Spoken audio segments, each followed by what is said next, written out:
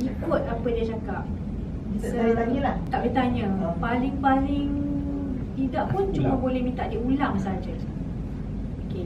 Now you Amir akan minta um, Minta dia orang lukis Yang ni semua. You boleh sebut Bentuk dia. You boleh bagi anggaran ukuran dan sebagainya. You tak boleh guna tangan you Untuk indicate apa benda tu. Meaning dalam arti kata lain You have to hold the, the paper. Try not to look at that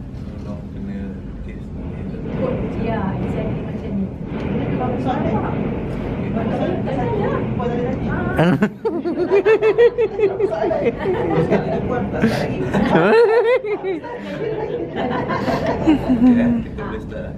Okay, first uh, saya nak bulat lukis bulat half daripada page tu. Lukis bulatan half daripada page.